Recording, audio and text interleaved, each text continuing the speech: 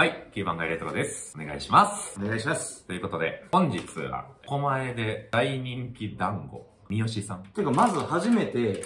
撮りましたよ。はい、狛江で、もう昼過ぎには売り切れるはい。団子、はい。三好さんというところの、はい。ほんまにこれ、超ね大人気。昼過ぎに売り切れるって、すごいよね。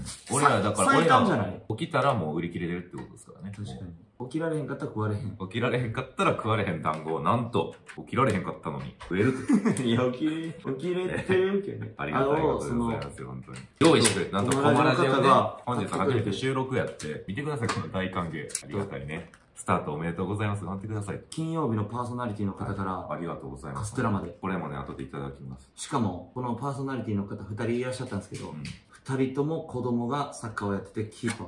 さんが僕らの YouTube をすごい見てくれたらしいよ。らしいね。ありがとう私の息子もキーパーなんですと。はい。隣にいらっしゃった方が、いや、私の息子もキーパーですよ。言ってまねした。中村が一番キーパーですよね、でも。絶対に俺がキーパー。何その言い名付け キーパー度合いでは負けないぞという。ちょっとあかん、食べたいわ。めちゃめちゃ綺麗、テカテカやん。いっかでかいやん。サムネじゃん。これサムネ書く。あ、いいですね。よしよしよし。で、こっちは、これ何でしょうあん、あんこきなこ。あんきなこ。俺あんこ好きやねん。お前、あんこ好きなのあんこ好き。これええな。これもええねん、見て。ごま。海苔巻き、醤油かな。これええな。何やねん。アピール。クしてくるねアピール。アピール。じゃあ、みたらしいきましちょうか。見たらしか行こうか。いただきます。いただきます。うまっこれうまいわ。東京来て初めてみたらし団子食った。確かに。でもね大阪でもあんまり空気がないけどね。2年かかったな。俺たちがみたらし食えるまでに。うん。もうみたらし食える位置まで来ましたか。いや、すごいよな、ねえそう考えたら。ありがたいね、本当に。ほんまにうまいうわ。まっ。ほんまにうまい。これは売り切れますわ。朝のうちに行って買ってくれたってことやな。これ多分ね、あったかかったらもっとうまい。てか、これ2個は持って帰ってチンしてもいいかもな。うん、その方がいいな。うん。しかも、初ラジオ、初収録、はい。出た。美味しすぎて全部食べちゃった。よ食べてもらってるわな、普通に。本当に全部食べてるわな。かったですよ。初ラジオ。っなんかええな、おもろいよな。ていうかまあ、もう、勝手に YouTube でやっぱラジオの練習しててんなって思った。なんか、え？じゃあ俺らもう、あれやで、YouTube 始めるときもなんかこう、花粉あげるの。花粉みたいな、なんかその、なんていう花粉の名前。あれ花粉じゃないですか？あ、花粉ですか？なんか、すぐ使いたがってる。花粉。いや、花粉は、じゃあ花粉は知ってるやん。花粉って普通に言う？だって、あの、ナイナイさんの、うん。オールナイトニッポンで、お前やったな迎えしてる？岡村さん。ああ、それ知ってる、ツイッター。お前やったなお前やったなみたいなのから始まんねん、最初。もう早速な、オールナイトニッポン、てってるてってっててって、お前やったなから矢部さんが始まる。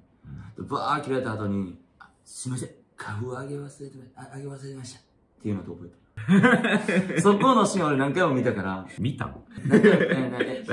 映像あんねん。あ、そうなの？あの、オールナイトニッポンって、あのー、ミックチャ、それこそ。うん。ミックチャが映像でやってんの。え、映像もあるんや？うん。あ、そうなんや。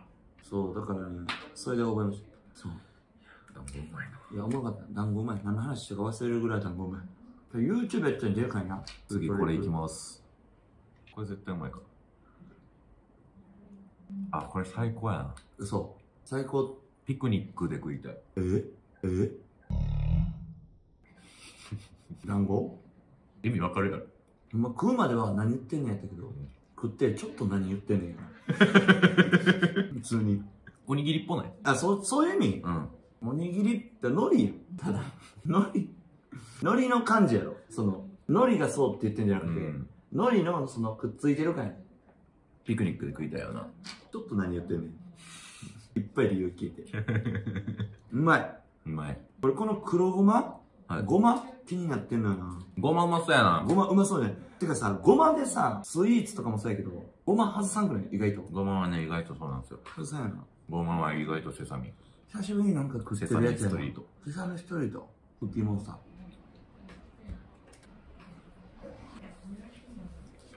次、ごま。ついにごま。ついに。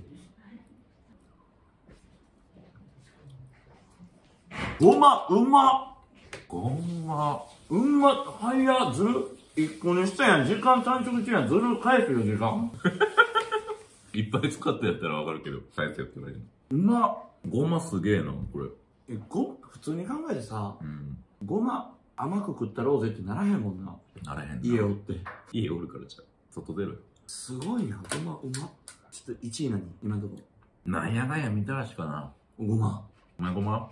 すごい。いや、そのやっぱ感動もありきかも。まあな。衝撃。ほんまこれ？うまいな。ごまめっちゃうまい。ごまめっちゃうまいよな。これ最後の味かな。でも、ごま最後まで暫定1位死守できるか。最後の味。挑戦者。あんこきなこ。あんこきなこ。お前あんこ好きなの？あんこ好き。だいぶ強いはず。今日これ分かるやろ。あんこ好きなやつ絶対好きやろ。で、それあんこやからな。変なこと言ってるよ。ごまとあんことみたらしも設定きた。マジ？磯辺焼き。俺やっぱみたらしやな。磯辺もむっちゃうまかったのに、ピクニックがよぎるから。ああ、ごめんな、俺がいらんこと言ったから。いや、ダントツ1位に踊り出そう。えぐいち ピクニックが楽しいから。ピクニック楽しいなって今思い出した。ごまで。ごま？うん。俺じゃあみたらし。ええー、のあんこいや、これほんまにちょっといいですか？一発いきらしてもらって。うん、いいよ。俺がみたらし認めるってこれすごいことやね、実は。一回離れてよ。時期も時期やしな。あの、地元藤井寺、前田製菓っていううん。大きい工場があって、そこの下で売店があって、うん。ほんまにうまいみたらし団子売ってんのよ。もう、そのさ、お店みたいなんで出してるさ、あったかい、この大きめのみたらし。そう。100%にうまいよな。あれ食って育ってるから、うん。そんな僕がみたらしうまい本物ですよ。まあ確かに、みたらしに関してはな。でそれ聞いてちょっと安心した。で俺が認めんの、すごいですよ。